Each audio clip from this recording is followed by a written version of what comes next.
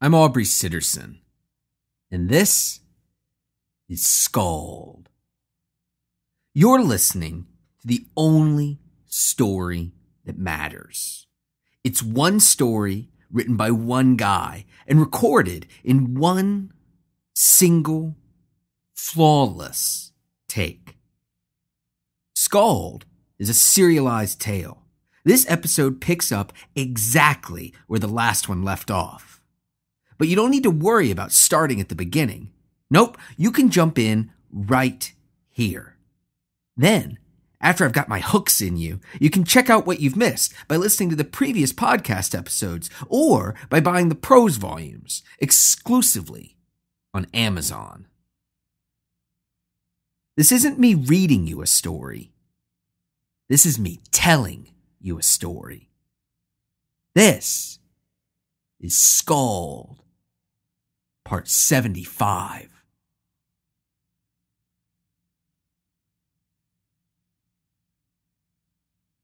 Ho was shocked, floored, flabbergasted, and dumbfounded. It had been years since he'd seen him. Years upon years, decades since he'd laid eyes upon him. And in those decades, Ho knew that he himself had changed, had grown older and grayer, his bones twisted and gnarled underneath skin taken by wrinkles, beneath muscles taken by atrophy. He knew that he was no longer the same man. He knew that time had changed him, had left him changed as time does to all men. But even then, he was shocked by how time had ravaged the man that sat before him. So very much older. Older even than the decades that had passed him by. Time weighed heavily upon him.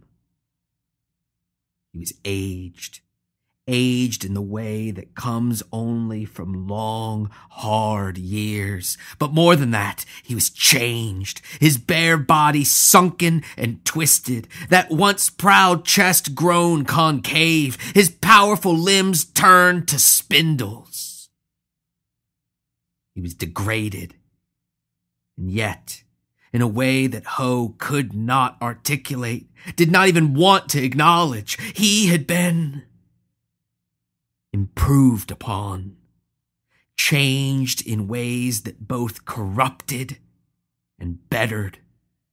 With dismay welling up in those glowing green fey eyes, Ho looked upon his student and spoke his name, the name that he had given him, the only name he had ever referred to him as. Mouse? The word scalded the vermin prince. It was a name he had not heard in ages, a name that he had struggled to forget, had forced down into the darkest recesses of a mind taken by blackness. When it struck his eardrums, it sent involuntary shivers up and down his spine, and his face twisted in response, giving itself over to something angry and feral, something that Ho could not remember ever having seen in his former student, but the look still managed to terrify him. In its familiarity, The vermin prince clenched his eyes shut, turning his face into a mask of pursed, pensive fury and disgust. He swallowed hard, choking down the bile that his former name had summoned up within him. That, that is not. He stammered, confused and frustrated, before regaining his composure, his eyelids rising to reveal a pair of beady eyes from which all anger had been drained, leaving only a cold, calculating, palpable hatred. I am the Vermin Prince, and I am no longer content with scraps. The Vermin Prince stretched out his long, emaciated limbs and clumsily forced himself to his feet, unashamed of his nakedness, staring his former teacher in the eye until Ho had no choice but to turn away in his own shame. When he turned back, the incense that filled the room, that hazy pink smoke, it had coalesced, wrapping itself around the vermin prince's body, covering him and clothing him in a shimmering, squalid, otherworldly cloak. You are lucky, lucky that we are alone. The vermin prince turned from his altar of filth and allowed a cruel grin to spread across his face. Here, in my kingdom, the wages for disrespecting the vermin prince. They are difficult to pay. Without any warning, the vermin prince began to move but though his motions were sudden, they were not quick, as all of the speed and agility that Ho had so prized in his former student. They were gone. They were nowhere to be found, because the strength, the mass, the warmth that used to fill his gaze, those weren't the only things that the vermin prince had lost. They were far from the only things he had lost. Ho winced and his heart ached as he looked upon his former student's leg, a limb that once rippled with strength and power, but that was now broken and twisted, and where it wasn't covered in oozing blisters. It was colored a sickly shade of gray. Come. The vermin prince spoke without looking at his former teacher dragging his crippled right leg behind him as he staggered into the darkness. We have much to discuss. Master Ho. With seemingly no other options before him, knowing the task assigned to him, and, most significantly, consumed by curiosity, with questions as to what had happened to his most promising pupil. Obeyed, and he followed the vermin prince in to the darkness. Mao. Ho caught himself. My prince, it has been such a very long time. Ho walked carefully, slowly, deliberately, struggling to keep his eyes trained on the figure that lurched through the darkness before him, the one whose shoulders he could barely see rising and falling in silent, secret laughter. Longer than you realize, Master Ho. Suddenly, the vermin prince disappeared around a corner, a corner that Ho could not even see, could only assume to exist from the way the darkness consumed his guide.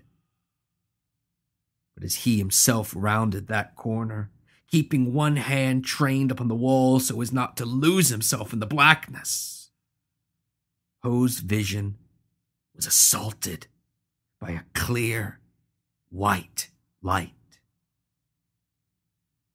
With one hand still on the wall, he raised his other to his eyes, shielding them from the blinding glow that now surrounded him as he found himself once again in a winding stone corridor, one lit by endless torches, and one down which the vermin prince now continued dragging himself. Ho was in awe because though the tunnel slanted downward precipitously, though its floor was rough, uneven, and littered with treacherous patches of slick wetness, the vermin prince forged ahead fearlessly. He didn't even equip himself with a staff or a cane, didn't even try to steady himself upon the wall at his side, and instead simply hopped and limped, grunting and cringing with every step. Ho, his curiosity reaching a fever pitch, spoke gently, desperate to learn more, while avoiding offense. What? What happened to you? The vermin prince slowed as he responded. The same thing that happens whenever a boy is sent off to war. Suddenly, he turned and looked back at Ho, his beady eyes like daggers as he spat out his answer. I was broken.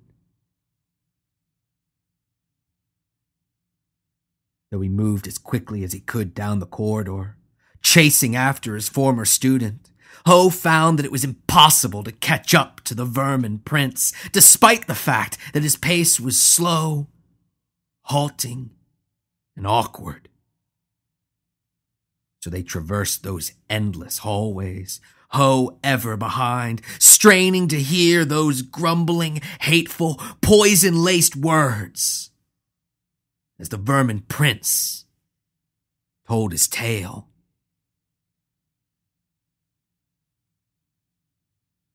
Proctors.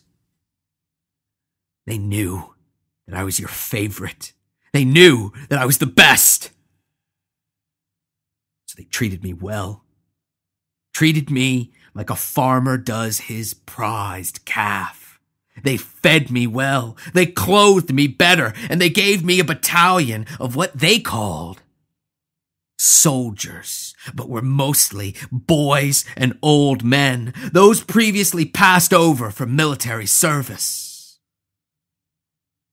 We, your students, those trained by your inimitable hand, we were sent to the front, where we were meant to hold the line, to defend Ravenna, and to beat the centaur horde back into the wilderness that it spawned it. At least, that was the plan. That is what we were meant to do. We were meant to use our exquisite technique, your exquisite technique, to use our martial prowess, to use it in service of Ravenna, in service of the Lady of Ravenna, to defend her and her city, to stand proudly as Calaria's chosen warriors. But we, we were no warriors. We were not proud soldiers. We were nothing more than bait, a distraction, a sacrifice to the unappeasable centaur horde. We were unprepared, wholly unprepared. And they, the proctors, they did nothing to prepare us, nothing to help us, nothing to warn us of the doom that thundered across the plains toward us. We expected to fight men. Men fused with horses, yes, but men all the same. We expected to face down an army. But what we saw instead was a stampede. We manned the walls together. Your students, the boys, the old men, the proctors, what remained of the soldiery, the officers, even Calaria's appointees, her cronies, those placed in charge of Ravenna's arrondissements, those to whom their protection, their well-being had been entrusted. We stood together. We stood shoulder to shoulder. That mighty line that unified front of Ravenna's finest, her boldest, her bravest, all that she had left, standing proudly upon her walls. When we were but merely touched by the centaur horde, merely touched by them, our defense was broken, shattered, decimated. We couldn't hold the line. We couldn't hold the walls. It was impossible. Any fool could see it, and every fool, every one of us foolish enough to have thought in terms of honor, in terms of civic pride, in terms of noble sacrifice, we all saw it. But still, still, we believed. We still believed in our cause, in what we were doing. We believed falsely that our sacrifice could ever be noble, could ever be anything other than what it was. The province of slaves and cowards. Because those we sacrificed ourselves for those for whom we put ourselves in harm's way, put ourselves in the centaur's way, those for whom we flung our bodies in front of the crushing wave of hooves and staves and arrows, they were not worth sacrificing for. The appointees, the officers, the proctors, they weren't worth sacrificing ourselves for because we weren't sacrificing ourselves. We had already been bound and placed upon the altar. We had been cleansed and anointed, prepared and made ready as a sacrifice. And though it was the centaurs that did the deed, the centaurs that wielded the knife, it was they. It was our betters who willingly offered us up. And so, as we still under our illusions, still under the sway of Calaria's corrupting magics, still held in bondage by that horrible witch, we attempted to stand our ground. We attempted to defend the walls, to force back the centaurs, to work with those who had directed us there, who had placed us in harm's way. But when we when your students, the boys and the old men, the simple people who fought to defend their homes because they had nowhere else to go, when we looked back, when we turned to check in on those who fought with us, on those we thought to be united with us in a shared cause, we saw nothing. All we saw were clouds of dust as the appointees, as the officers, as the proctors, as they all turned tail, craven manipulators that they were, and they fled. They ran. They retreated. It was we, those with nothing left to lose, those who could only ever hope to beg for scraps at Ravenna's table. It was us who were left to defend their retreat, to defend their city, to be struck down, trampled, and murdered by the centaur horde. The very walls crumbled underneath our feet, weakened and laid low by the incessant pounding of the centaur's hooves.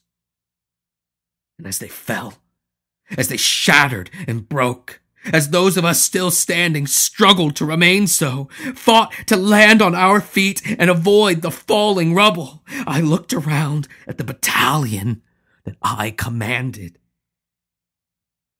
The two young boys the two old men, those with no prospects and even fewer dreams. I watched as they, seeing what little hope they had evaporate. I watched as they, content to choke on their master's dust, content to chase after their betters and beg for scraps. I watched as they too turned tail and ran. But I, I was no coward.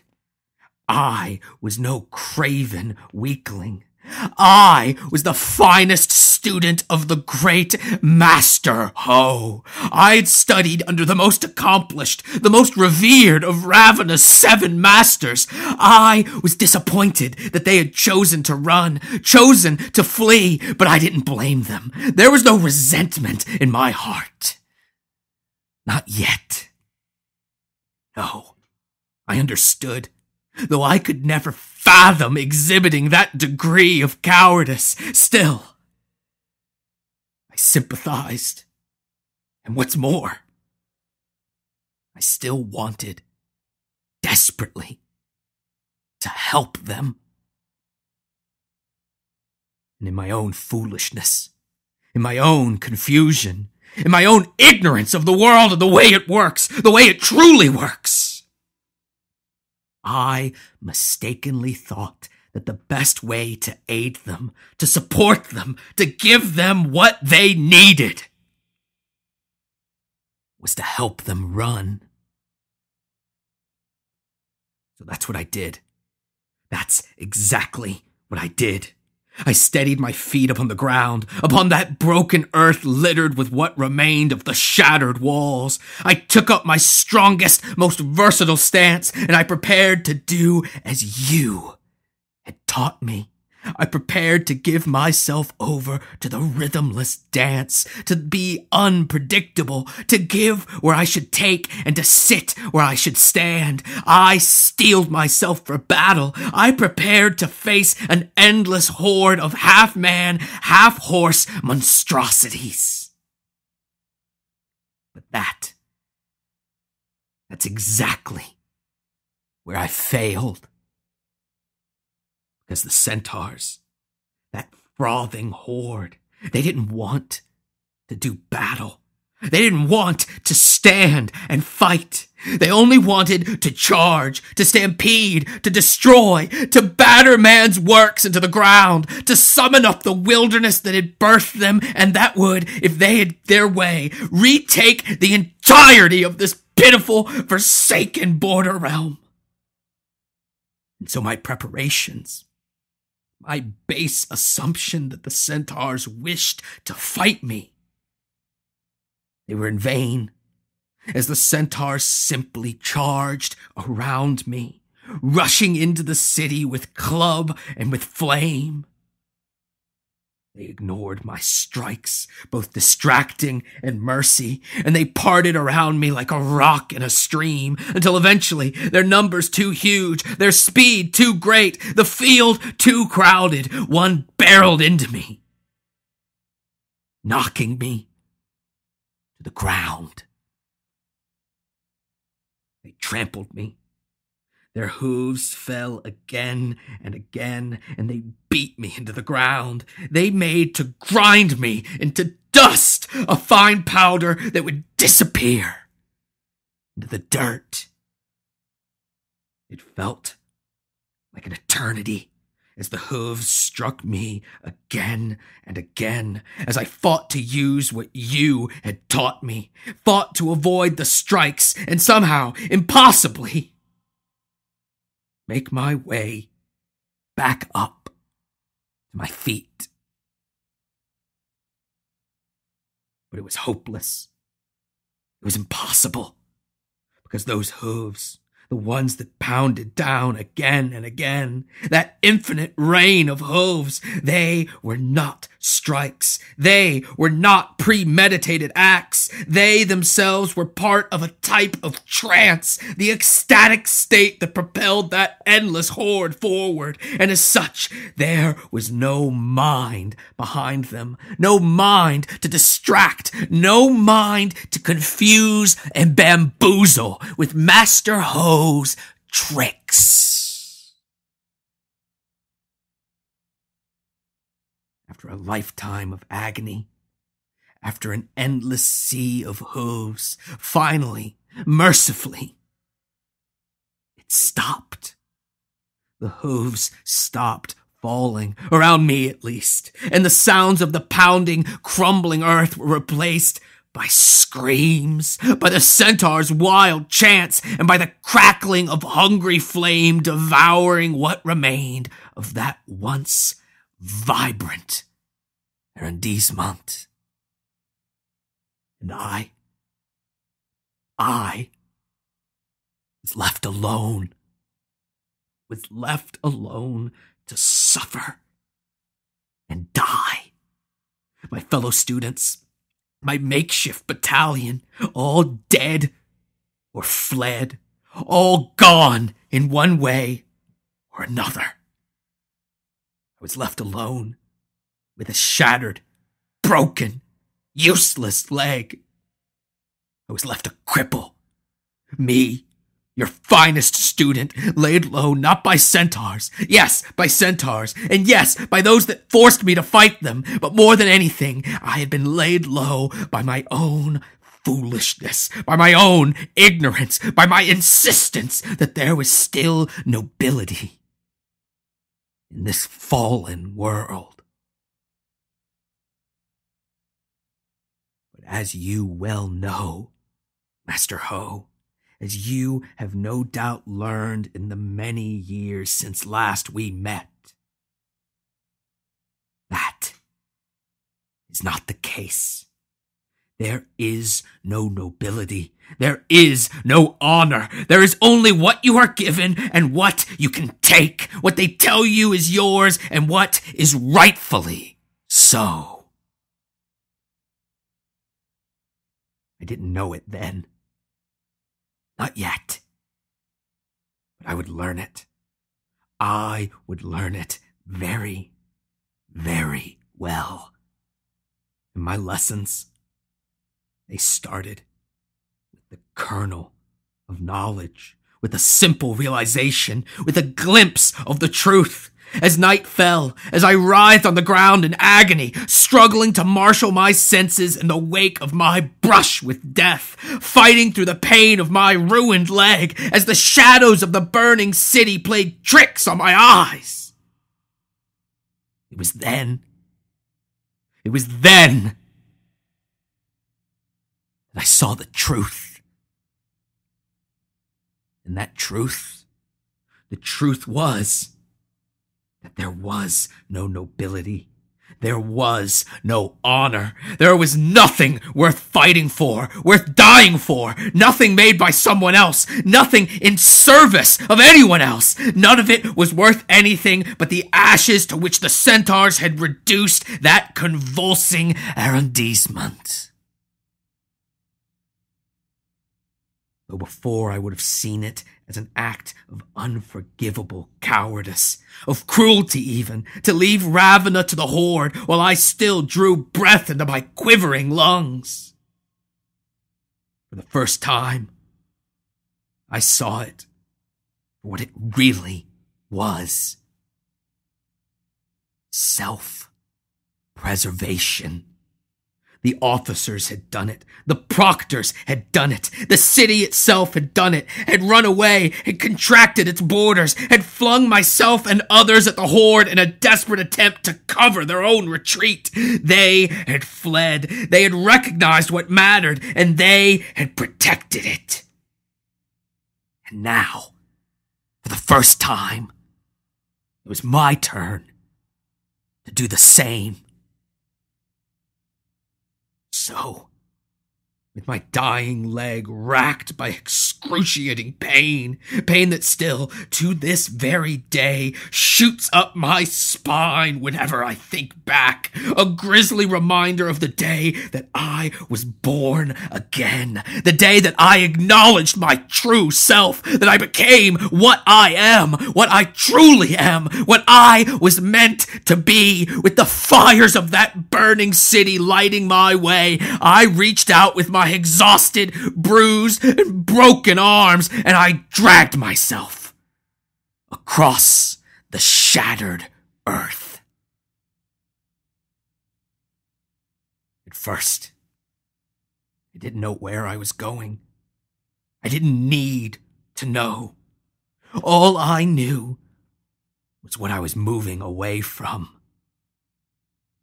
The flaming arrondissement the sinful, corrupting, corrupted city of Ravenna, the unholy conflagration that had come, finally, mercifully, to devour that oppressive city state.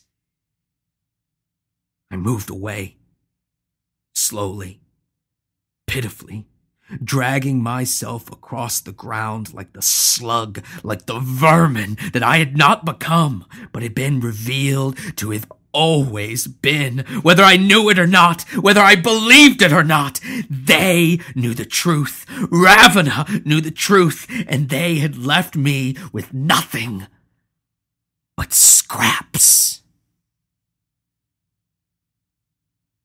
Master Ho wanted to speak, wanted to ask questions, wanted to, more than anything, understand the wild tale that his former student revealed to him but he could not. Because as they walked, though the vermin prince moved as haltingly, as awkwardly as ever, though Ho ran as fast as he could, though his lungs ached and he panted for breath, he could not catch up with his guide, who continued, forging ahead in his tail as he delved deeper and deeper into those winding hallways. In their jaundiced light, I crawled away from Ravenna, crawled away from the flickering orange flame and the thick, acrid smoke that rose from it.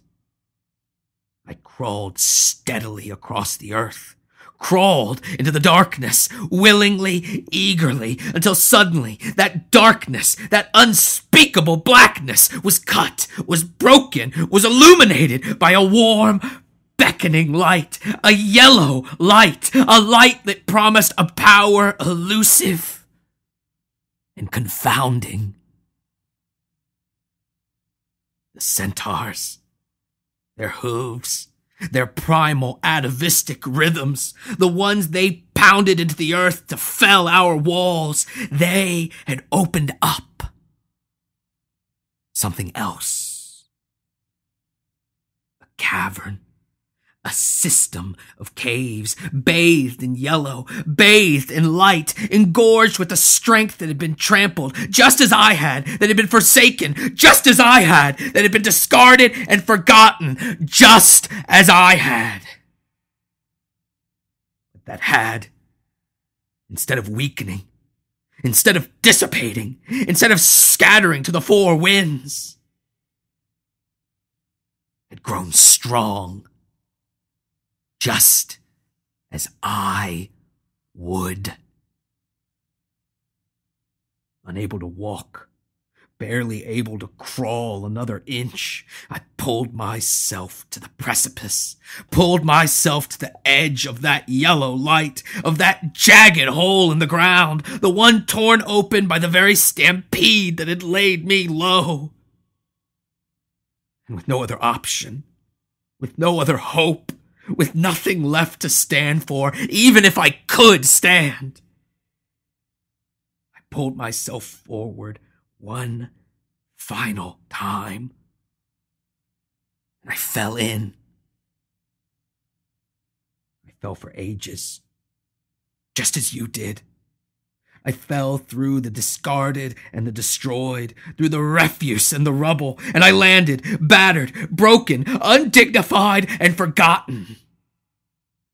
In a pile of filth. I fell amongst the trash and the ordure. I fell, as you did, into exactly that which I had become.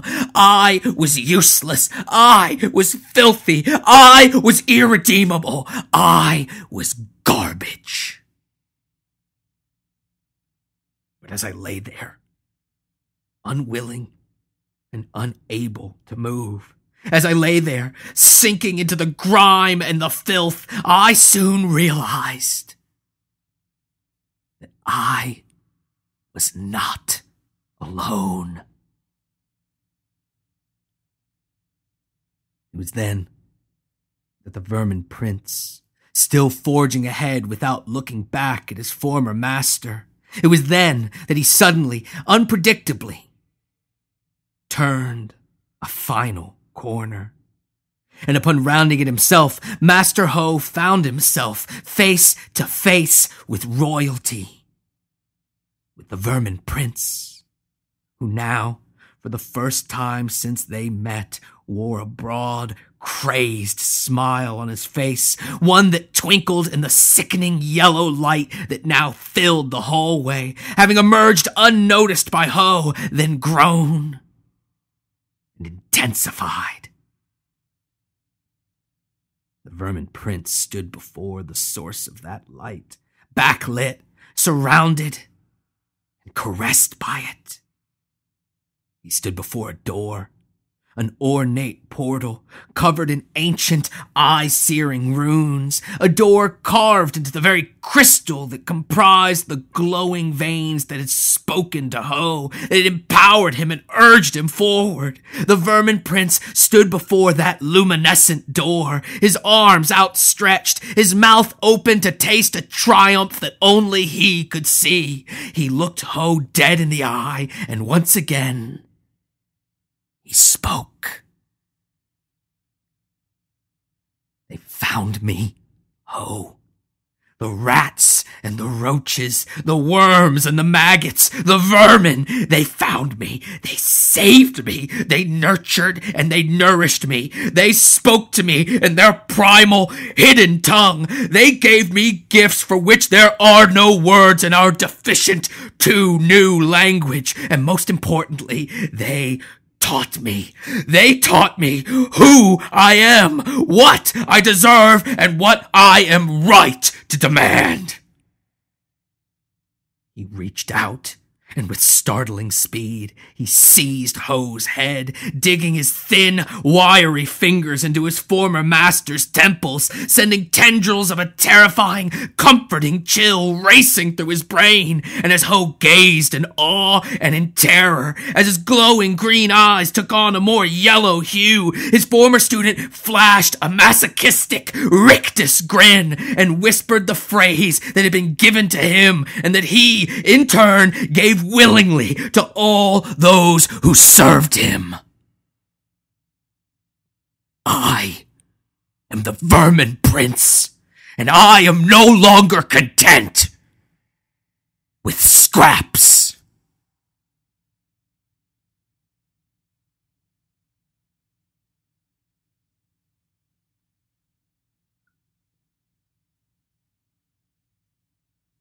Thanks for checking out this the best episode of SKALD yet.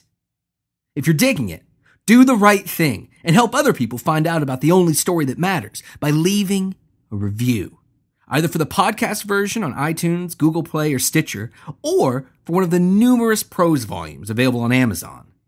This one is for Volume 1 The One True King of Men. Pete says, The only story that matters. Aubrey Sitterson has juxtaposed the wonderful old tradition of true oral storytelling with a useful new technology. It is recorded in one single, flawless take, just as storytellers did around the Paleolithic fires. This is the only story that matters. SKALD is a weekly show, which means that it's a weekly commitment from me, writing and recording these stories week in and week out. I love doing it, but it's a lot of time, and time that I'm not spending on paying work, like my comics writing. I don't want to have to stop SKALD. I want to do it forever. But in order to do that, I need to justify the time spent with the money coming in. If you enjoy the show, head to patreon.com slash SKALD and throw a few bucks into the hat. Imagine that you're a traveling adventurer giving some coins to a bard who just entertained you in a tavern. It's more fun that way. Thank you in advance for helping spread the word about SKALD in real life, on Facebook, Twitter, Tumblr, wherever you can get people listening to your effusive praise. Also,